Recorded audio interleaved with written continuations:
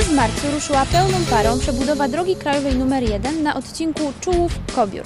Jest to jedna z największych inwestycji drogowych w Tychach i jedna z największych inwestycji na Śląsku. Ponad 6,5-kilometrowy odcinek wyremontuje firma budowlana z Warszawy. Inwestycja zakłada kompleksową przebudowę drogi krajowej nr 1 i drogi krajowej nr 86 od wjazdu do Lasu Czułowskiego do południowej granicy miasta. Firma ma ponad dwa lata na wykonanie prac.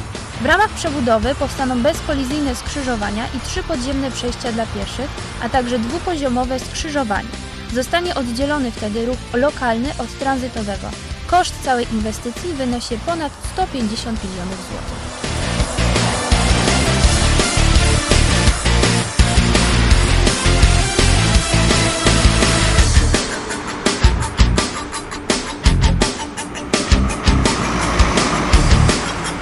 Rok 2012 to rok kurzu, problemów z komunikacją, korków i wiecznych spóźnień do pracy. Serca budowy dla internetowej telewizji Tychy Marlena Staniek. Rok 2012 to rok brudu, problemów z komunikacją.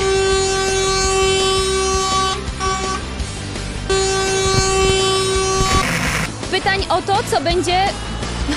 nie, czego nie będzie takich kurzów, bru... bru... bru... bru... bru... bru... bru...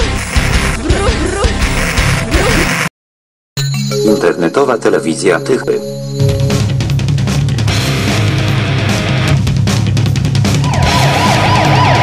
ITT.